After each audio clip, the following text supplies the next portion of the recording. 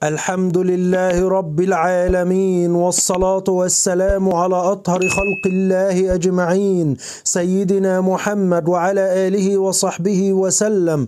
طبتم وطاب لقاؤكم وتبوأتم من جنة الله منزلا. بإذن الله تبارك وتعالى هذا اللقاء. عن تفسير رؤية قطة تشرب الحليب في المنام. ما تنسوناش بلايك والاشتراك في القناة. وتفعيل زر الجرس. وجزاكم الله عز وجل عنا كل خير. من يرى في منامه أنه يعطي القطط الصغيرة الحليب علامة على الأفراح والسعادة القادمة له في حياته والله أعلم.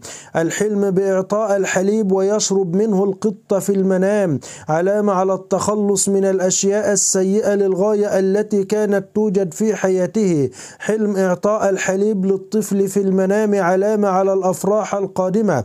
والخير والسعادة والله أعلم. رؤية العزباء أنها تعطي الحليب للقط في المنام علامة على الخير القادم لها والسعادة القادمة لها ولزوجها المستقبلي والله أعلم.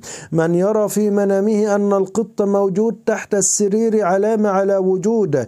أشخاص غرباء حاسدون له يريدون إيذاءه والله أعلم. حلم الرجل أن هناك قطط تحت السرير في المنام علامة على أنه محيط بأشخاص غير صالحين لا يريدون له الخير.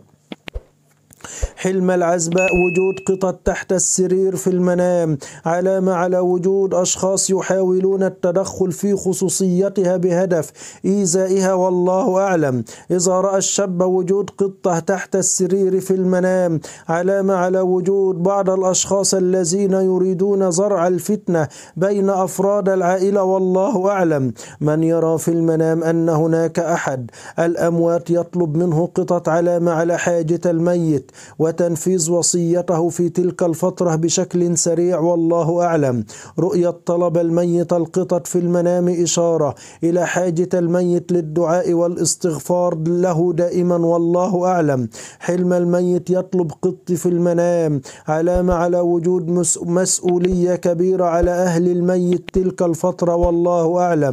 رؤية الميت يطلب قط في المنام إشارة إلى الأزمات والمعاناة التي يعانيها أهل الميت في هذه الأيام والله أعلم. من يرى في منامه أنه يجامع قط علامة على تورطه في بعض المشاكل والأزمات وعليه الحذر والتأني في اختياراته في حياته والله أعلم. حلم مجامعة المرأة القطة في المنام علامة على أنها محيطة بأشخاص منافقين في حياتها يريدون يريدون أذيتها والله أعلم أو مصالحتها على حسب الوضع والله أعلم.